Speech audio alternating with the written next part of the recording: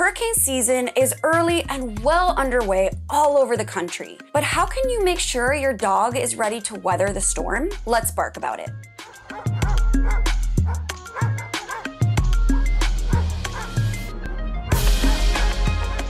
Welcome back to Alpha Paw, your destination for everything dog.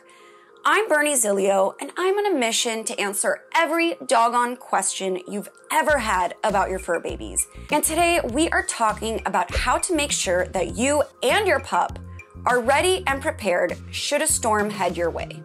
With hurricane season starting earlier this year, it's never too early to make sure that in the event of a storm, you're covered. Since our canine companions are really our fur babies, it is so, so important that we include them in any weather related preparations for their safety, but also for ours. In fact, it's estimated that over 250,000 families had pets in New Orleans before Hurricane Katrina. Sadly, because there were no plans to evacuate these families, let alone their pets, it's believed that around 100,000 pets were left behind. And as for the families that chose not to evacuate, about 44% of them said they chose not to leave their homes without their furry friends. So, yeah, this is a serious topic and can gravely impact you and your pet if you don't plan ahead of time. So, that's what I'm here for to help you plan. Now, the first thing you're going to want to do, just like you would do for yourself and any other humans in your household,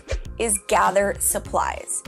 You'll want to make sure that you have enough food and are stocked up for your pup for at least five days. Ensure that you keep the food in an airtight and waterproof container, and make sure you have your Buds bowls ready to go as well. But you'll want to stock up on other items too, not just food. If your pup is on any medication or necessary supplements, you'll want to make sure that you have these in your storm kit as well. You should also make copies, hard copies or otherwise, of all of your pet's medical records. And now that we're on the topic, before a storm hits, Make sure that they are up to date on all their vaccines, since proof of immunization is critical when bringing your pet to a boarding facility or vet office. In the event of an evacuation, these sorts of pet centers can be so, so important. That said, if those aren't an option for you, you'll want to make sure to reach out to pet friendly hotels or even family or friends who live out of the area who can accommodate you and your canine companion should you need to leave your home. Of course, when planning for any disaster, we want to hope for the best, but prepare for the worst. So while the goal is to keep our fur baby right by our side at all times, we also want to make sure we're covered for the just in cases of life. So, how do you do that? By making sure your dog is microchipped. It's a simple and easy and permanent form of identification that can help you and your dog get reunited God forbid you're ever separated. Also, make sure that your contact information is on your dog's ID tags and that it's up to date.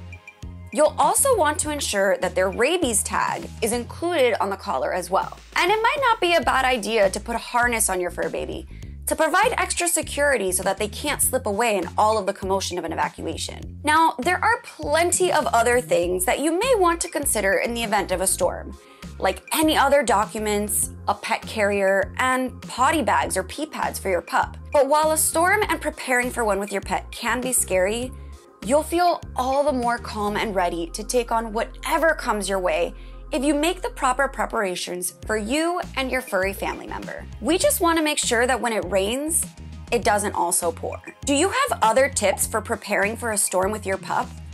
Put them in the comment section down below so that you can help everyone in our Alpha Paw community. Again, I'm Bernie Zilio, and this is Alpha Paw. Be sure to subscribe so you don't miss a single doggone episode, and we'll see you next time.